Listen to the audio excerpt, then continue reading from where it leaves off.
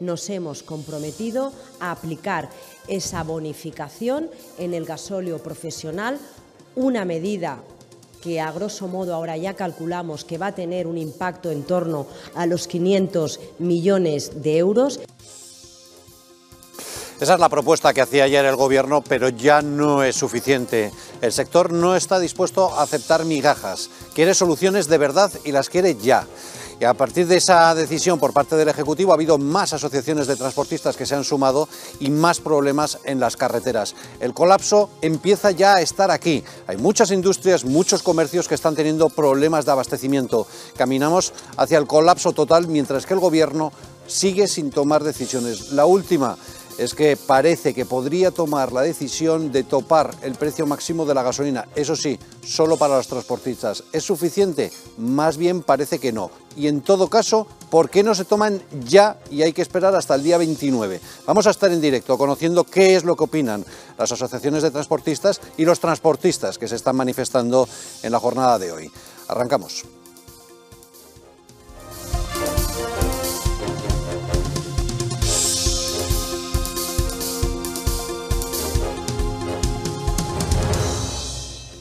Todo centrado en la huelga de transportistas, son ya 50.000 los transportistas que están en huelga, poniendo en riesgo el abastecimiento de comercios e industria. Lucía Bajo.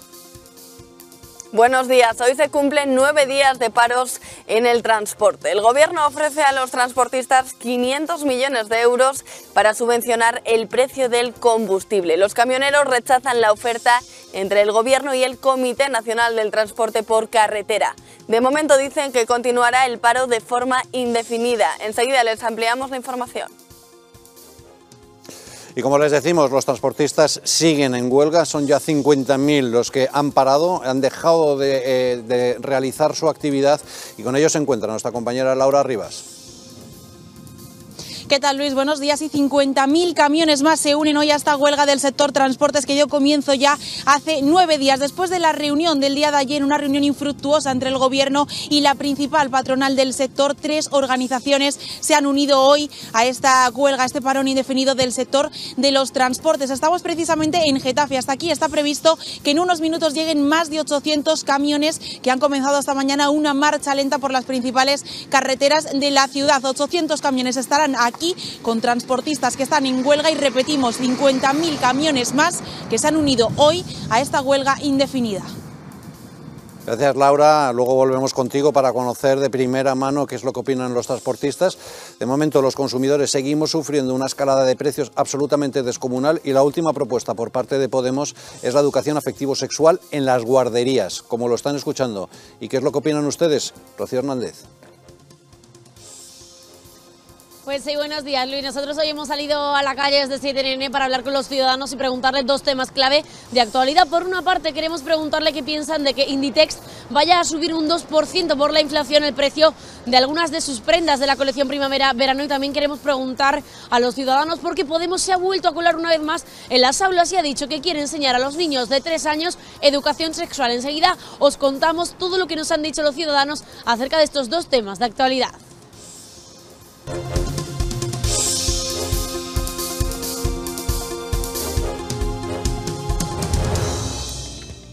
Pues nos vamos a ir al Congreso de los Diputados ahora mismo en directo, donde está compareciendo el Partido Socialista para dar explicaciones sobre la posición del Gobierno de España en relación al Sahara. De la recuperación económica, del impacto que está teniendo la crisis bélica sobre la energía, sobre el precio de la energía y tantas otras medidas. Por lo tanto, todas esas eh, buenas voluntades y esa preocupación que trasladan al conjunto de la ciudadanía las pueden orientar precisamente en el espacio de diálogo que hable el Gobierno con los grupos parlamentarios.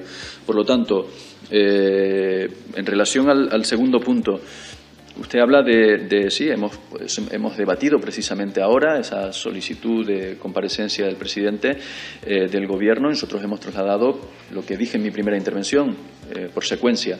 Primer paso, comparecencia del ministro José Manuel Álvarez en el día de mañana y ya se determinará próximamente eh, la fecha de la comparecencia del presidente del Gobierno para tratar todos los temas de interés, sea del Consejo Europeo 24-25 o de cualquier otro tema de interés, como puede ser el acuerdo que se puede dar con otros países, también con, con Marruecos.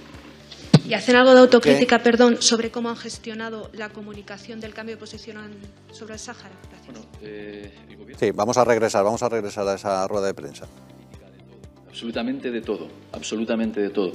Pero también tenemos determinación sobre las decisiones que se adoptan.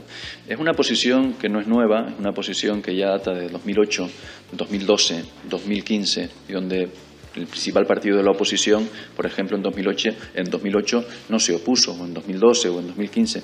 Quiero decir con todo esto que vamos a contextualizar cada eh, paso que estamos dando en materia de política exterior. Vamos a dar la oportunidad también al ministro de Exteriores en el día de mañana que dé con todo lujo de detalles los eh, avances que se han dado, la relación con otros países, de qué consta, qué es lo que se prioriza, en este caso en la relación con Marruecos, con Marruecos, y siempre vamos a dejar algo claro. Para cualquier avance en este sentido tiene que haber entendimiento por las partes. voz? Sí, no.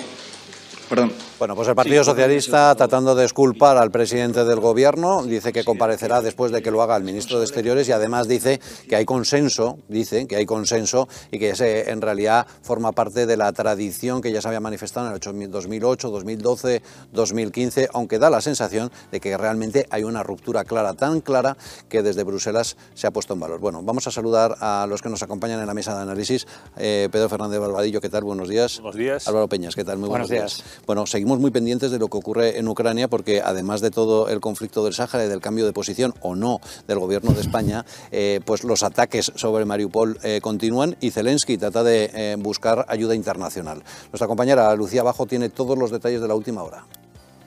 Ucrania y Rusia llevan ya 27 largos días de conflicto, sobre todo en Mariupol, donde ya han sido destruidos el 80% de los edificios. Zelensky ha rechazado el ultimátum de Putin para que se rindieran y les entregaran esta región. Ahora la ciudad costera de Odessa está siendo atacada por la artillería de los buques de guerra. Rusia está usando por primera vez en la historia misiles hipersónicos. Esto significa que viajan a por lo menos cinco veces la velocidad del sonido. Estas imágenes compartidas por el Ministerio de Defensa de Rusia muestran cómo fue el bombardeo que destruyó el centro comercial de Kiev y que dejó ocho muertos. Además, aquí pueden observar el momento del impacto en el interior del edificio. Zelensky pide reunirse con Putin y le pone sobre la mesa una conversación sobre los territorios ocupados.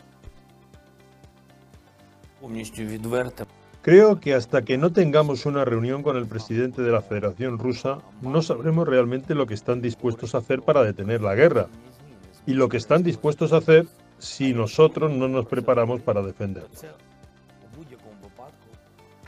El gobierno ruso llama al embajador de Estados Unidos para avisarle de una posible ruptura de relaciones después de que Joe Biden calificase de criminal de guerra al Kremlin. Ayer Joe Biden se reunió con sus principales aliados europeos para hablar sobre la invasión y cabe recordar que el presidente del gobierno, Pedro Sánchez, no estaba invitado a la cita. Kiev pide ya otro toque de queda de 35 horas a la espera de nuevos ataques.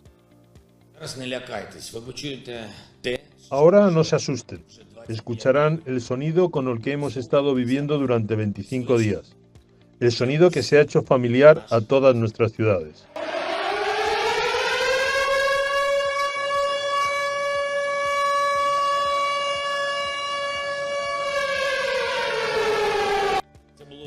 Han sido 20 segundos. Nosotros lo escuchamos durante horas, días, semanas. La ONU cifra ya en casi 3 millones y medio los ciudadanos ucranianos que han tenido que huir tras la guerra, Luis.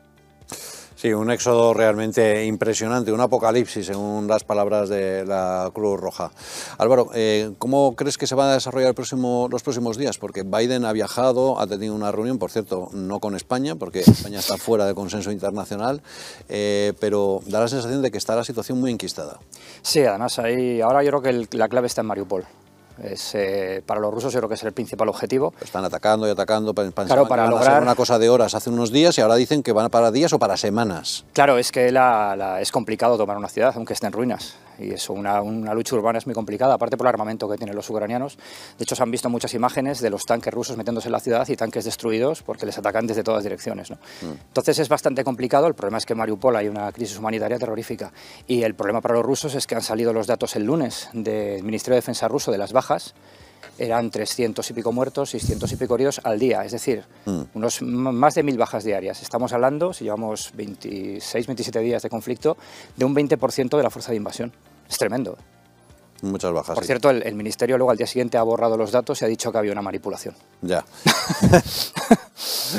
bueno, eh, Pedro, antes hemos visto que las imágenes de los fallecidos, de los asesinados en, el, en, el, en, el, en el centro comercial han sido difundidos por el Ministerio de Defensa ruso forma parte de esa propaganda también, ¿no? De mira lo que he hecho y cuidadín que, que si sigo atacando va a haber más Prepárate, lo que esto es lo que puedo hacer. Mm. Bueno, mm, yo creo que lo más importante es lo que decía, decía Álvaro, ya en Rusia llevan ya casi 10.000 muertos. Mm. Y en torno a algo más también de 16.000 heridos, o sea, 25.000, 26.000 bajas y no llevamos un mes de invasión. Nos decían que esto iba a ser, pues, eh, que los rusos iban a aplastar a los ucranianos por su superioridad armamentística, tecnológica, eh, de tropas, también porque gran parte de los ucranianos les iban a recibir como libertadores y está habiendo una resistencia más feroz de lo esperado por todos, tanto por la Unión Europea y Estados Unidos, como por Moscú y le está costando al ejército ruso mucho más de lo que se esperaba. También es muy significativo la, digamos, el número de generales muertos en mm. combate, creo que son cinco ya, un, y ese, por, eso, es eso, es un, desgaste tremendo, eh, no solamente de pérdida de capacidad, sino que, cada día que pasa tienen que mantener la logística y, eso es extraordinariamente complicado. Y el segundo comandante de la flota del, Mar Negro también ha, también ha fallecido. Bueno, les decíamos a la apertura de este informativo que eh, los eh, transportistas están en pie de guerra. Esa oferta por parte del Ejecutivo ha sido claramente insatisfactoria. Al revés, lo que ha hecho ha sido encender todavía más los ánimos y ya están llegando los transportistas a ese centro de Getafe, en la ciudad eh, madrileña. Ahí está nuestra compañera Laura Rivas. Sí, Luis, están llegando ya los primeros transportistas. Quiero que veáis cómo eh, se está formando ya una cola en esta carretera del eh, polígono industrial de Getafe con eh, casi 800 transportistas que se espera que lleguen hoy aquí a estas carreteras. 800 transportistas que han salido hoy en marcha por las principales carreteras de Madrid. Vean, vean cómo, cómo están llegando todos uno tras otro. chalecos amarillos, esa es la causa más representativa de estos transportistas. Luchan por esos altos precios del combustible tras la reunión que tuvo ayer el Gobierno con la principal patronal del sector. Están insatisfechos, dicen que no es suficiente y hoy se han unido 50.000 camiones más a esta marcha. Estamos muy pendientes porque no paran de llegar camiones, no paran de llegar transportistas a este polígono industrial y en unos minutos, Luis, podremos hablar con ellos en directo para que nos cuenten sus impresiones y qué les parece la decisión que ha tomado el Ejecutivo de Pedro Sánchez de darles 500 millones de euros en ayudas. Gracias, Laura. Luego volvemos contigo. Pedro, eh, bueno, pues eh, claramente ha sido insuficiente. varias asociaciones y patronales se han sumado al paro después de esa oferta de migajas de, y, la, oferta de última hora de esta mañana ha sido topar el precio del petróleo solo para los transportistas. ¿Crees que va a ser suficiente? No, desde luego que no. Yo creo que además los transportistas han, han sabido, se han dado cuenta de la fuerza que tienen, de lo desesperado que está este gobierno. Saben también, como sabemos todos, saben también los, los marroquíes, los saben los argelinos, que apretándole a Pedro Sánchez, Pedro Sánchez consigues lo que quieres. Nuestra compañera Laura decía, hablaba de 50.000 camiones. Mm. Bueno, en España hay más de 600.000 camiones de más de 3 toneladas y media, según mm. datos de 2020. Anda que no faltan camiones por llegar a, Madrid y darle una serenata en Moncloa a Pedro Sánchez. Mm. De momento están en esa marcha lenta por, por la M30, que es, eh, bueno, pues es, realmente tremendo. Y, claro, ellos saben además que si la, el transporte para, todo para. Para el comercio para la industria, ya hay varios centros comerciales eh, que, están teniendo que cerrar porque no tienen material para poder vender, hay varias industrias que han tenido que cerrar, en fin, la, situación es realmente tremenda. Sí, se está paralizando el país, claro pero es la única forma, la única forma de conseguir algo de este gobierno, como bien ha dicho Pedro, es apretarle, apretarle las tuercas, porque es de vergüenza que con lo que está cayendo digan que hasta el día 29 no pueden tomar una medida, ¿no? Es algo completamente, vamos, demencial. No, no, o sea, el PNV recibe transferencias, como la de prisiones, Mm. y al resto de los españoles, pues con perdón, que nos vayan dando. Nos toca pa- seguir pagando impuestos y como es. decía hoy en un reportaje un patrón, un, armador pesquero, decía, bueno, si queremos las ayudas, las necesitamos ya, Claro. inmediatamente. Dice, Claro. que no sean como las del COVID, que tardamos un año en cobrarlas. Claro, claro. O como, las, del volcán, que bueno, vete pidiéndolas y dentro de tres meses ya veremos. Sí, sí, pero mientras Así tanto, los- la gente sigue pagando el IVA, Claro, sigue claro. pagando eh, los impuestos, que la, gente cuota de tiene, oye, que la gente tiene la manía de comer a mediodía y de cenar por la noche. Eh, y, claro, es que, Hay que pensar y en hoy, planeta, hoy, no dentro de tres meses, sino hoy. Bueno, en fin, eh, hay, hay varios temas que están encima de la mesa. Eh, la respuesta por parte del gobierno es tachar a todo el mundo que se manifiesta de ultraderechista y luego está la vergüenza del cambio de posición en relación al Sáhara. De todos esos asuntos está preguntando nuestro compañero Josué Cárdenas. Portavoz, quería preguntarle la posición de su partido acerca de la iniciativa que tiene Vox de eliminar las mascarillas en exteriores, si ya tienen eh, decidido qué van a votar. En segundo, si cree que los 500.000 manifestantes del domingo merecen los calificativos con los que se refería Adriana Lastra hacia ellos, de ultraderechistas, la gente del campo, del mundo rural. Y por último, si se sienten cómodos habiendo transgredido hasta 64 eh, iniciativas de la ONU con respecto a la crisis del, del Sáhara y su posición en concreto. Muchas gracias. Bueno, en relación a- al criterio en materia de mascarillas, la política en materia de sanidad la determina la, la ministra. El Gobierno ya ha adelantado y ha trasladado en numerosas ocasiones que está la, cerca la retirada de la obligatoriedad en interiores de la mascarilla. Creo que eso es una- unas declaraciones que no son nuevas. Por lo tanto, respaldaremos el criterio sanitario siempre. Iremos en la dirección de las autoridades sanitarias y no de las formaciones políticas que intentan simplemente establecer un debate político estéril que nada ayuda a la recuperación de una pandemia que ha causado estragos en la comunidad internacional. Punto uno. Punto dos, sobre los manifestantes. Nosotros, nuestro máximo respeto a la ciudadanía que libremente, de manera respetuosa, traslada su, su malestar, su preocupación, y este gobierno es muy sensible y toma nota. Por lo tanto, nuestro absoluto respeto. Otra cosa muy diferente es que determinados grupos parlamentarios intenten, partidos políticos, intenten capitalizar eh, de alguna manera generar un clima eh, de confrontación con el gobierno, algo que rechazamos de facto y que consideramos una irresponsabilidad extrema. Atacar en una situación tan sensible como la actual, saliendo de una pandemia, en medio de una crisis bélica, de un conflicto bélico, de una, de una guerra, de un desafío de un autócrata, hacer eh, este tipo de operaciones. Pero en cualquier caso, sensible no solo con los manifestantes, también con los grupos parlamentarios para recabar y recoger aquello que hoy puede enriquecer eh, la gestión del Gobierno. Somos muy sensibles, vamos a ser muy sensibles, lo seguiremos siendo con el conjunto de la ciudadanía y de los sectores afectados por esta crisis que ha provocado el autócrata Putin. En relación a las iniciativas de la ONU en relación Sáhara, antes lo trasladé. Eh, ahí eh, esta medida, esta propuesta, se recoge en una resolución de la ONU, eh, 2602, lo dije con anterioridad, tomaba nota. Eh, esa medida sí que se recoge en una resolución de la 2602 y que siempre hemos defendido que se dé entre el acuerdo entre las partes. Por lo tanto, eh, nuestro, creo que hay que considerar y contextualizar también ese tipo de aseveraciones en relación a los eh, incumplimientos, que no son así. Muchas gracias. Bueno, pues esas son las declaraciones del Partido Socialista. Dice que el Partido Socialista y el Gobierno no se ha movido, no ha habido un cambio de posición. Y ese es precisamente exactamente lo mismo que dice el alto representante de Política Exterior de la Unión Europea, Josep Borrell.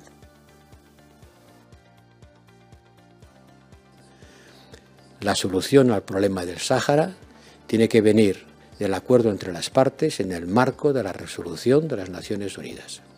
Esta es la posición europea y por lo que he leído de la carta de enviada por España, no la contradice. Bueno, pues eh, dice que eh, la posición de España es que se, la resolución será dentro de lo que marque Naciones Unidas. Y así lo reafirma también el ministro de Exteriores, señor Álvarez. Estefan de Mistura lleva un poco más de cuatro meses eh, en su cargo actual y esta es la cuarta vez que me reúno con él. Le he querido explicar la posición de España, que es de apoyo a encontrar en la cuestión del Sáhara una solución mutuamente aceptable, está a su plena disposición para desplazarse tantas veces como quiera a donde él considere necesario para llevar a cabo la misión para la que nosotros le apoyamos. Bueno, pues eso es lo que dice nuestro ministro de Exteriores, pero eh, da la sensación de que se ha quedado con la brocha en la mano porque dice que había informado a Argelia y Argelia dice que no, que no había recibido ninguna información. Así que Álvarez ha tenido que decir que no, que en realidad era una comunicación directa entre España y Marruecos, pero que Argelia sigue siendo socio prioritario. Argelia es un socio sólido, estratégico, prioritario, fiable para España, también como suministrador de gas. Bueno, enseguida hablamos sobre si ha habido un cambio de posición o no por parte del Gobierno de España, pero la sensación por parte de Bruselas y también de las cancillerías de Francia y Alemania es que sí, de hecho, han aplaudido. La Comisión Europea ha aplaudido este lunes el acercamiento de España a Marruecos después de aceptar el plan marroquí de autonomía para el Sáhara Occidental, aunque ha recordado que el estatus de este territorio debe dirimirse en un proceso político acorde con las resoluciones de Naciones Unidas. La Unión Europea aprueba los desarrollos positivos entre los Estados miembros y Marruecos en la relación bilateral que benefician la asociación de la Unión Europea y Marruecos. Pedro Sánchez anunció el pasado viernes una nueva etapa en la relación con Rabat, tras reconocer en una carta al rey Mohamed VI que el plan de autonomía para el Sáhara Occidental, planteado por Marruecos, constituye la base más seria y realista para lograr una solución a este conflicto. En todo caso, Masrali ha recordado que la cuestión del Sáhara Occidental debe resolverse a través de un proceso político acorde con las resoluciones de la ONU. La solución debe ser política, justa, realista, pragmática, sostenible en el tiempo y mutuamente aceptada, ha recordado. Con este paso, el presidente del Gobierno cede a las presiones de Rabat, que pedía claridad a Madrid sobre el plan para la antigua colonia española. La solución tiene que ser justa y realista, dice el Gobierno de España en esa carta. Curiosamente, los mismos términos utilizados por Trump cuando eh, se posicionó a favor de la marroconidad del Sáhara. Bueno, queremos analizar eh, si ha habido o no un cambio de posición y tenemos con nosotros a Alejandro López de Descifrando la Guerra. Alejandro, gracias por acompañarnos. Muy buenas. ¿Cuál es eh, tu criterio? ¿Crees que sí ha habido? Porque el gobierno y Burrell dicen que no, que en realidad nada se ha movido, pero da la sensación de que sí. De hecho, se ha montado un lío tremendo y desde las cancillerías francesas y alemanas y desde Bruselas han aplaudido ese cambio de posición. Y no solamente desde estos países, es decir, dentro de España todos los actores políticos, incluso algunos dentro del Partido Socialista, señalan que ha habido tal cambio de posición. Además, es evidente, después de estos casi 50 años de consenso y política de Estado, en las cuales, por cierto, España también estaba rehuyendo sus responsabilidades en la descolonización, como le decía Naciones Unidas, pero al menos mantenía una posición equidistante, digamos, ¿no? Ahora se está posicionando del lado de Marruecos directamente. Si España es responsable de hacer valer esa autodeterminación para llegar a una descolonización del Sáhara Occidental, serán ellos los que decidan cuál es la solución mutuamente eh, aceptable con Marruecos, ¿no? Y no un plan directamente de autonomía marroquí. Da la sensación de que, bueno, es verdad que en la carta del Gobierno de España dice que se tiene, la solución tiene que pasar por el marco de Naciones Unidas, pero que al Gobierno de España le gusta eh, la solución de que el Sáhara pase a depender de manera autónoma de Marruecos. De manera que ya está explicitado. Al final, eh, los cambios que se vayan a dar sobre el terreno no son eh, dependientes de lo que diga España. España, como digo, ya rehusó sus responsabilidades hace tiempo y esto nada más que le estaría dando legitimidad a la ocupación marroquí que lleva años comprometida con la solución del referéndum, pero no va a dar ningún paso o no está mostrando signos de dar ningún paso hacia esa consecución, como se reivindica desde los sectores del, Polisario. Y esto es porque, de facto, eh, Marruecos controla el Sáhara Occidental en torno a un 80%, incluyendo las pues partes más ricas, las partes de los recursos, los explota y los está incluso normalizando con la Unión Europea. Por lo tanto, lo que diga España no va a cambiar una realidad sobre el eh, terreno, simplemente está eh, legitimando una ocupación porque se está dando una señal. Bueno, tenemos ahí algunos problemas, eh, pero en fin, da la sensación además de que Estados Unidos ha, tenido cierta modificación en su posición, porque desde la posición de Trump a la de Biden, ha habido cierta, cierto matiz por lo menos, ¿no? Sí, em, Trump, eh, digamos, se lanzó a la, a la, piscina, pero no se ha cumplido mm, la, el cambio de, postura que él, que había anunciado. Estaba comprometida la apertura de un, de un consulado norteamericano en, en territorio saharaui, no se ha hecho y la actual administración del presidente Biden ha votado en el Consejo de Seguridad a favor de prorrogar la misión de la MINURSO hace, hace unos meses escasos con lo que en este asunto no ha habido, eh, no, no, ha seguido la administración Biden el criterio de la, de la administración Trump, que en cambio sí ha conseguido, por ejemplo, varios acuerdos de paz entre países árabes y, mm. eh, e Israel. Mm. Bueno, pues el Gobierno de España podría aprovechar esa oportunidad. Vamos a recuperar la comunicación con Alejandro López de Descifrando la Guerra, pero será a la vuelta de una breve pausa publicitaria. Nos vemos enseguida.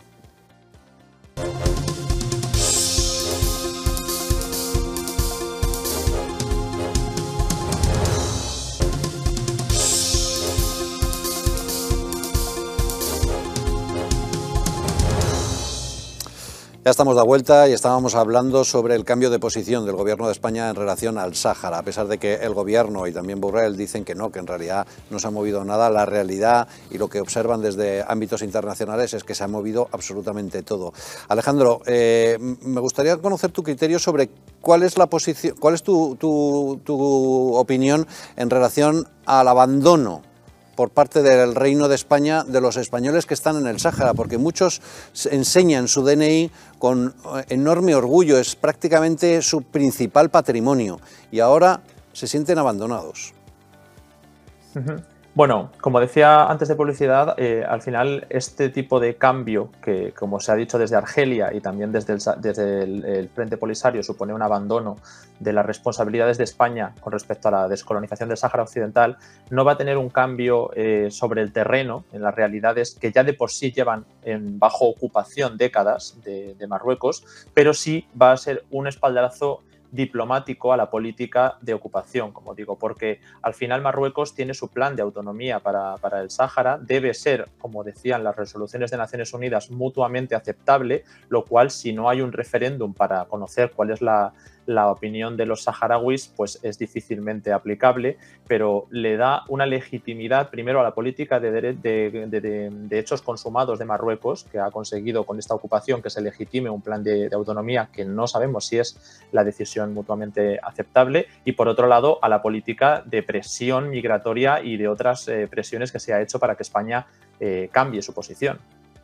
Desde luego, da la sensación de que eh, el Gobierno ha cedido precisamente para evitar esa presión migratoria, pero la verdad es que cuando se cede a un chantaje se tiene la garantía de que el chantaje se va a perpetuar. Alejandro, gracias. Un saludo. A vosotros. Bueno, pues precisamente en este momento, ahora mismo, en el Congreso se sigue hablando de este asunto, porque obviamente es tema de, es tema de debate político. Mm, creo, creo que lo has apuntado muy bien lo del chantaje. Mm. Es decir, si estás pagando al chantajista, te vas a ir chantajeando y extorsionando. Claro, es que, es que el mensaje por parte del Gobierno es, no, con mm. esto ya garantizamos la españolidad de Ceuta y ¿Por qué? Porque, efectivamente, efectivamente. ¿Por qué? Si, has pagado una vez, ¿por qué no vas a pagar dos? Bueno, vamos a ir en directo al Congreso de los Diputados con Cuca Camarra. Está hablando precisamente sobre el asunto del Sáhara. A la sociedad española, aquí en sede parlamentaria cuál es la posición de España. Evidentemente, no podemos admitir que se vire como se ha virado en la política internacional y que desconozcamos, además, a qué nos comprometen los acuerdos a los que se están llegando. Y sin más, pues estamos a su disposición para cualquier cuestión que nos quieran, que nos quieran plantear.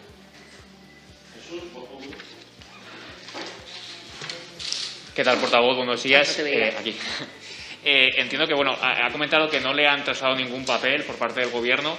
Eh, quería confirmar que tampoco ha habido ningún tipo de interlocución de Moncloa con, el Grupo Parlamentario Popular y si al final se confirma la no bajada de impuestos, el PP apoyaría ese decreto del día 29. Muchas gracias. Eh, a la primera parte de la pregunta, pues confirmar que no ha, no, ha, existido ni un solo papel con ninguna medida, ni tampoco ninguna eh, eh, comunicación de ningún tipo en el que se nos haya trasladado cuál es la posición del Gobierno, en qué está trabajando el Gobierno o qué quiere plantear el Gobierno. Sabemos lo que ustedes han publicado y lo que en las distintas ruedas de prensa, muy contradictorias las unas con las otras, se lleva, eh, se traslada. Eh, porque además lo que vemos es un gobierno roto donde ni tan siquiera hay una unidad en, en lo que tiene que ver con las medidas que se quieren implementar. Y en relación a ese Real Decreto, nosotros volvemos a insistir que las medidas debieran de haberse adoptado ya y que podrían haberse empezado a adoptar muchas de ellas ya y estar en vigor. Que esto no quita para que pueda haber otro Real Decreto el día 29 eh, a raíz del Consejo Europeo. Y esto no es un capricho. Es decir, no, podemos no se puede explicar, salvo por la inacción del Gobierno de España, por qué otros gobiernos europeos sí han aprobado ya medidas, han bajado impuestos, han subvencionado céntimos en eh, los distintos combustibles, han ampliado, por ejemplo, ya plazos de medidas que tenían, eh, que tenían aprobadas y acordadas, han incrementado porcentajes de financiación de distintos aspectos y en España no hay absolutamente eh, nada. Cheques en blanco. Nosotros cheques en blanco no firmamos. Nosotros somos un partido... Bueno, pues eh, Cuca Gamarra criticando que el Gobierno no esté tomando decisiones cuando el resto de nuestros socios europeos ya las han tomado. Prácticamente todos los países de nuestro entorno han tomado decisiones para rebajar el precio del combustible. Nosotros somos el único país que está esperando a ese Consejo Europeo y eso obviamente ha encendido los ánimos de muchísimos sectores, principalmente del sector del transporte. Laura Rivas, ¿cuál es el ambiente? Pues el ambiente, Luis, es de que están llegando cada vez más camiones con pitidos, chalecos amarillos, como decíamos. No sé si lo podemos ver, compañero Roción. Vamos a enseñar a los espectadores todos los camiones que están llegando. Mirad por allí por la carretera cómo llegan y cómo está esta calle entera llena de camiones. Como os decía, se esperan más de 800 camiones aquí en Getafe. El sonido ambiente es de pitidos, de no sé ni siquiera si me podéis escuchar, porque se escucha muy fuerte el ruido de todos los camiones. Vamos a hablar con con alguno de estos transportistas, Luis, para sentir cómo está la calle, cómo están eh, los camioneros. Buenos días. Hola, buenos días. Me decía usted antes que hoy siente emoción porque han salido por marcha lenta por la carretera y han sentido el apoyo de todos los ciudadanos. De todos los ciudadanos. La verdad es que es muy eh, impactante ver a la gente según vas pasando, que te van pitando, te van sacando el puño, mucho ánimo, estamos con vosotros y él llora como un niño, lo tengo que decir, es impresionante el, ver el apoyo de verdad. La lástima es que los que se tienen que dar cuenta no se den cuenta y tengamos que estar aquí perdiendo el tiempo y, gracias al apoyo de esta gente, la verdad que nos dan fuerza después del noveno día que llevamos así. El Gobierno les ofrece una ayuda de 500 millones de euros. ¿Es suficiente? Eso no es nada. Eso, para que te hagas una idea, si lo repartimos en 12 meses que tiene el año, serían unos 160 euros al mes cuando tenemos una subida de 2.000, 2.200 euros al mes. Dime tú a mí qué es. Practicable. Pues muchísimas gracias. Vamos a seguir por aquí. Situación insostenible, caballero, ¿no? La de los transportistas. Se están reivindicando. ¿Qué le diría usted al gobierno de España, que ayer se reunió con la patronal, que no les representa a ustedes? Correcto. Eh, yo lo único que le diría es que se, que se siente a negociar con Manuel y, y tendrá la ocasión de poder resolver este problema.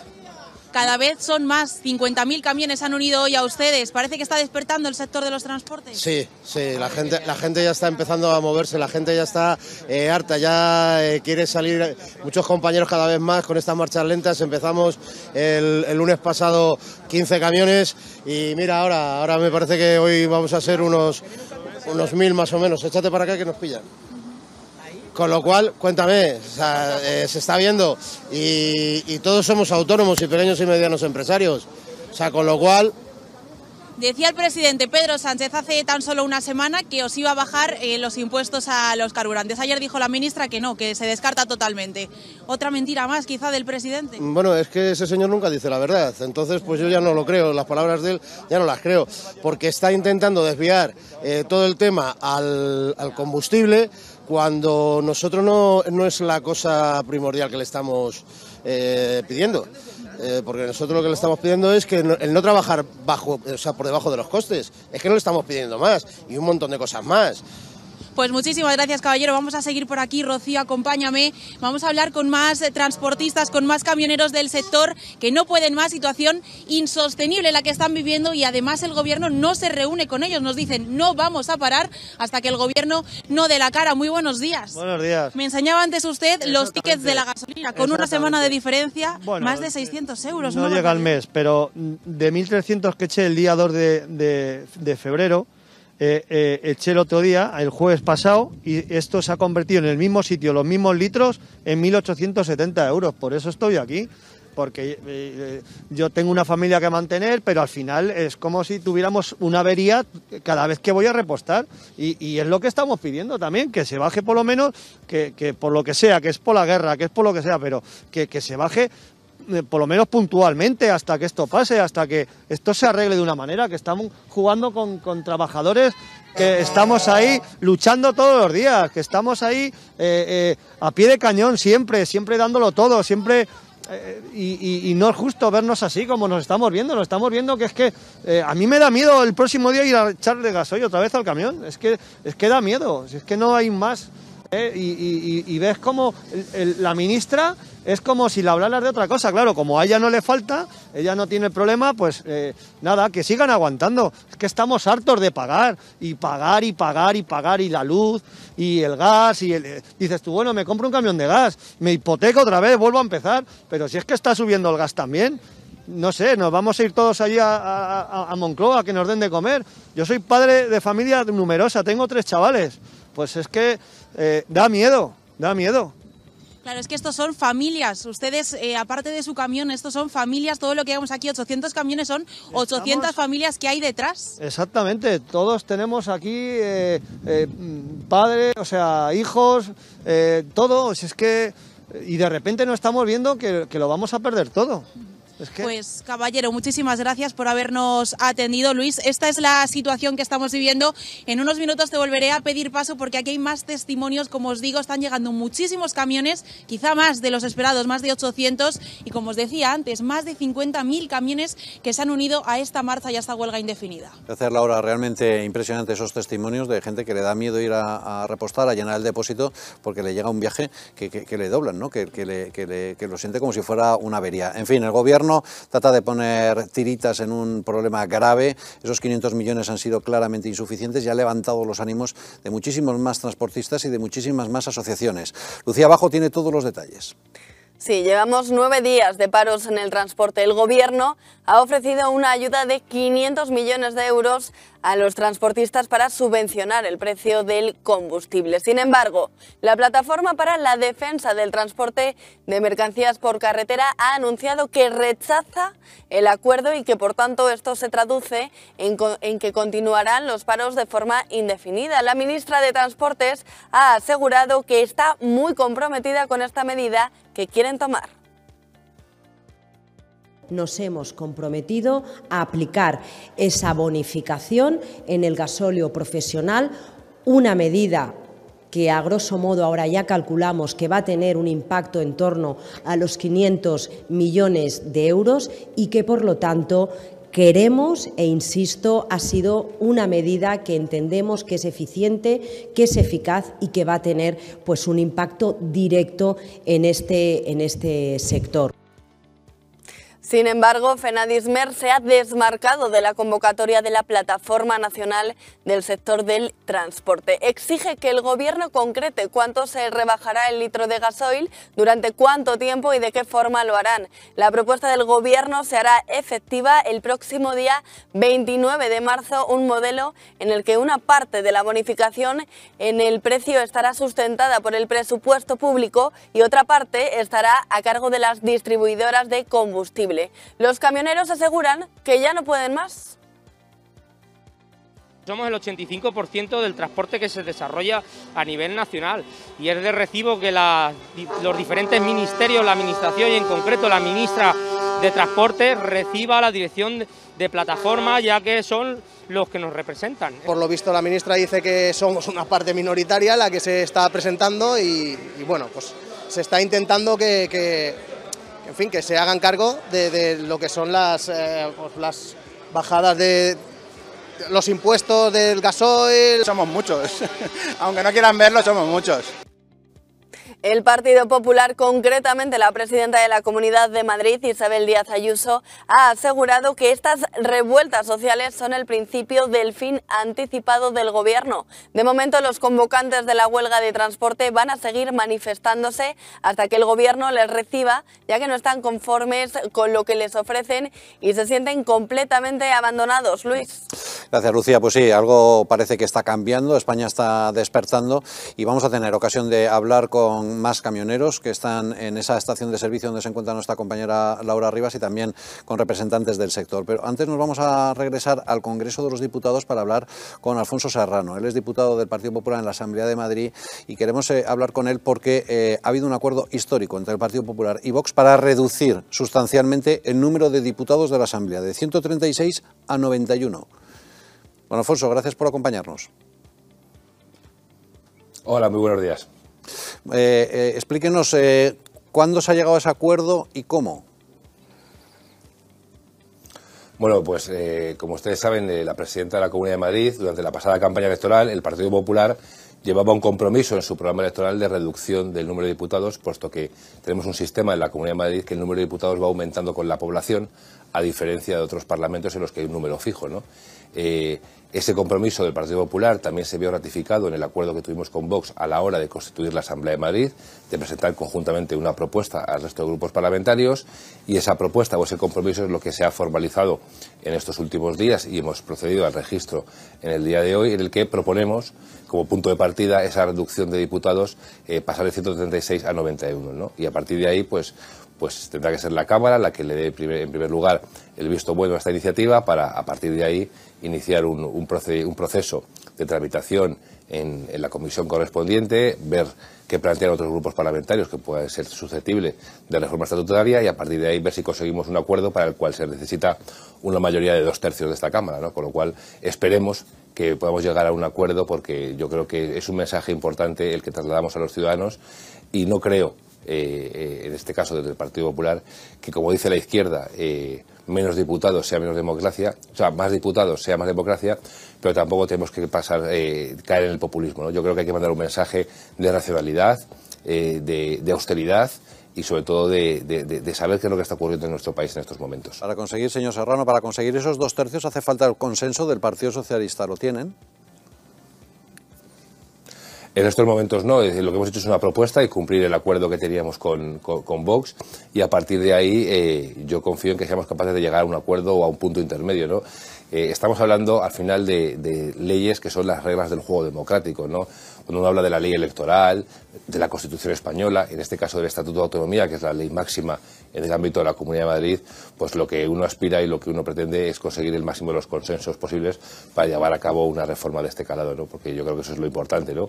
Por tanto, ahora la mano, la pelota, por decirlo de una manera, está en, el, está en, los grupos de la izquierda, a ver qué es lo que quieren hacer con esta iniciativa y, que tengamos la capacidad, tanto el Partido Popular como Vox, que yo espero que así sea, de, llegar a acuerdos y de, ejercer la responsabilidad que nos ha tocado en este tema y tratar de forjar ese acuerdo con otras formaciones políticas.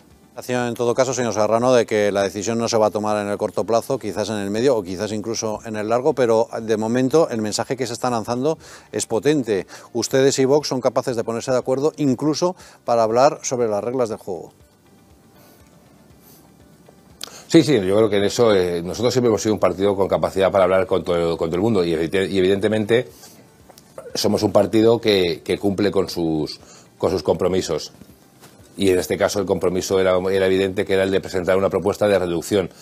Eh, como toda reforma de un estatuto, pues no es un procedimiento corto, no es una ley o un proyecto de ley que se pueda llevar por lectura única y que una vez que se debata en la Asamblea, pues cuando corresponda, a lo largo del próximo mes, supongo, eh, ya va a estar aprobada, ¿no? Y vamos a ver los efectos enseguida, ¿no? No, no, va a ser el caso, ¿no? Porque una cuestión como esta, pues requiere de una tramitación muchísimo más pausada eh, y, y, por lo tanto, pues no sabemos cuál es el tiempo que nos va que nos va a determinar esta, esta cuestión. Usted, señor Serrano, una última cosa. Usted se encuentra en la Asamblea de Madrid. Eh, ¿Cómo ha sentado este anuncio entre sus compañeros? Lo digo porque casi casi que aquí hay un juego de sillas, ¿no? Hay cerca de 40 diputados que tendrán que salir. Hombre, eh, yo creo que no deberíamos de hacer ese, esa, esa, lectura, ¿no? Porque yo creo que al final, eh, dicho de otra manera, esta Asamblea de Madrid empezó con 90 y pico diputados, ahora somos 136. O sea, hemos ido aumentando el número de diputados a lo largo de los últimos, de los últimos años. En cualquier caso, eh, si hiciéramos esa lectura, estoy convencido que nunca saldría adelante esa iniciativa, porque yo estoy convencido que muchos de los diputados que van a dejar de serlo serán diputados de la izquierda, porque yo estoy convencido que en las próximas elecciones Isabel Díaz Ayuso va a lograr una amplísima mayoría absoluta en la Comunidad de Madrid y así, y así espero y así vamos a trabajar para ello. Pero más allá de cómo sea ese juego de sillas, yo creo que lo importante es, es mandar un mensaje de, seriedad, como digo, y de rigor, ¿no? Y, y, que evidentemente decía el portavoz del Partido Socialista, y yo estoy de acuerdo, decir, oye, que a lo mejor no hay que limitarse simplemente a, a retocar el número de diputados de la Asamblea, a lo mejor hay que abordar otra serie de cuestiones. Bueno, pues este es el momento de que ellos hagan una labor constructiva desde, desde, la oposición y planteen qué otras cuestiones quieren que se lleven a cabo en esta, en esta posible reforma estatutaria, ¿no? Y a partir de ahí eh, valorarlo todos en su conjunto, ¿no? Yo creo que hay muchos temas que pueden ser relevantes y desde luego que nosotros tenemos la máxima disponibilidad para, para abordarlas y la máxima voluntad sobre todo para eso, para llegar a amplios acuerdos porque si no difícilmente vas a ir adelante. Todo lo que sea recortar administración pública para dejar más espacio a la sociedad creo que va a ser bienvenido por parte de la sociedad civil. Señor Serrano, gracias y enhorabuena por ese Ah. acuerdo. Muchísimas gracias. Muchísimas gracias y a vuestra disposición, como siempre. Gracias. Bueno, pues eh, hoy Vox ha propuesto que eh, eliminar las subvenciones a los partidos políticos en el Congreso de los Diputados y ha sido rechazado por todas las formaciones políticas. Qué sorpresa, ¿no? Qué sorpresa, desde luego. Desde luego. Bueno, la entrevista que, que hemos hecho al presidente, a este diputado de la Asamblea de, de Madrid, hombre, le ha echado agua al, al vino de, de, la reforma, porque depende de dos tercios, dos tercios de, de, la Cámara, y no parece que la izquierda esté muy a favor. El compromiso del PP con Vox es presentar la propuesta, y luego ya va a depender de estos, de estos señores de la izquierda que se, que se apruebe. Vamos a ver, el Partido Popular tiene 65 eh, diputados en la Asamblea de Madrid, que es el grupo mayoritario. ¿Cuántos madrileños conocen siquiera a la mitad de sus supuestos representantes en, en, este, en esta Cámara Autonómica? Qué generoso, ni a un 10% creo que, que conocen sí, a yo, Por eso yo, yo creo que, hombre, está, está, muy bien disminuir el número de diputados que al final, por desgracia, pues sabemos que se limitan a apretar un botón según como eh, el secretario general, que solo lo hemos visto, pues levanta un dedo, levanta dos y levanta tres. Luego nos dicen que no hay mandato imperativo. Eh, hombre, para mí lo ideal sería que se recuperase ese proyecto de Esperanza Aguirre, que no se realizó por un veto del PSOE, de eh, ir a un sistema, al menos en la Comunidad de Madrid, de diputado de distrito. Así cada uno sabría a quién vota. Sí, está clarísimo. Bueno, eh, bueno, que... si se hace esto, bienvenido sea. Eso, eso. Y bueno, todo, todo, lo que sea avanzar yo creo que está bien. Bueno, eh, supongo que recordáis que el gobierno ha tachado a los transportistas de ultraderechistas. Eso ha encendido los ánimos, como se pueden imaginar. Pero lo más curioso es que la izquierda se ha dividido en relación a este asunto. Hay algunos que sí, que aplauden con las orejas y dicen que sí, que son unos fachas, y otros que dicen, oiga, pero mire, que, que, que, que es que están defendiendo lo más básico, que es el derecho a trabajo y a poderse ganar el pan con dignidad. Vamos a ver ese rifirrafe. Eh, Vox está detrás de muchas de, de estas eh, patronales, de muchos de estos empresarios, también pasa con el tema del campo. Y en este sentido me permiten que les diga que yo no entiendo o miro con mucha extrañeza esas fuerzas de izquierdas que se permiten despreciar las protestas de españoles que salen a la calle en un momento muy difícil. A mí me resultaba eh, gracioso ver a gente en una manifestación el pasado domingo, creo, del campo, que luego se iban al barrio de Salamanca. Entiendo que el barrio de Salamanca está lleno de, de cortijos y de campos, y ¿no? es curioso.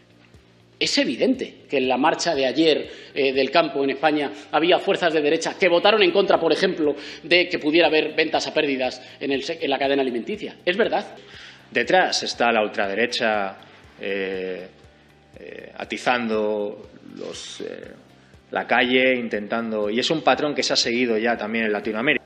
Pero eso no, no quita que haya muchos españoles que estén teniendo muchísimas dificultades para llenar el depósito, para trabajar con su camión todos los días o con su furgoneta de reparto, y no son los más pudientes.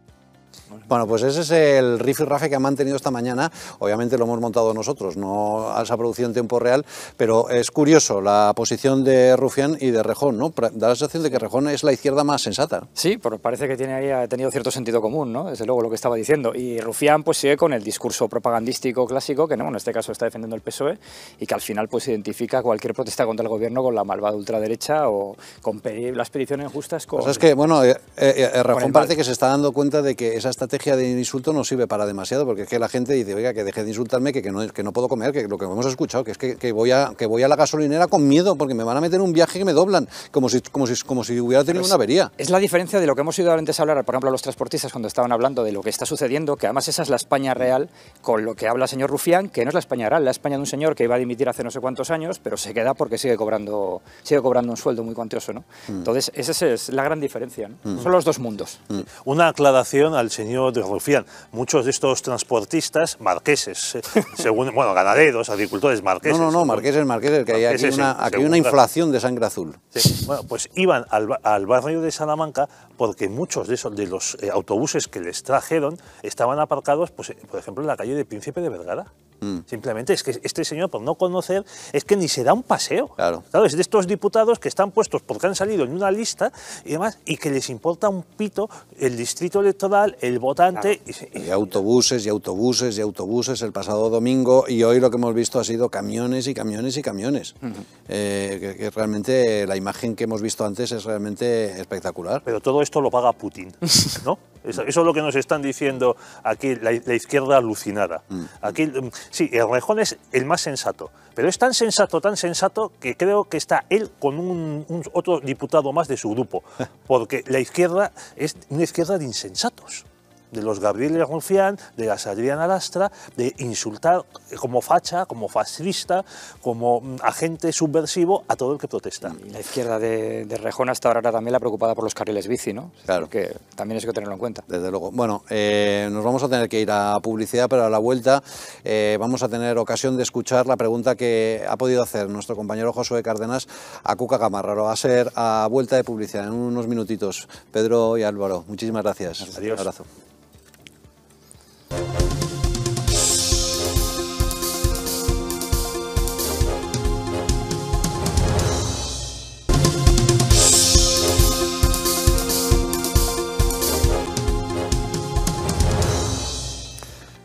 Bueno, pues ya estamos de regreso y como les decíamos, vamos a regresar al Congreso de los Diputados donde nuestro compañero Josué Cárdenas ha tenido ocasión de preguntar a Cuca Gamarra del Partido Popular.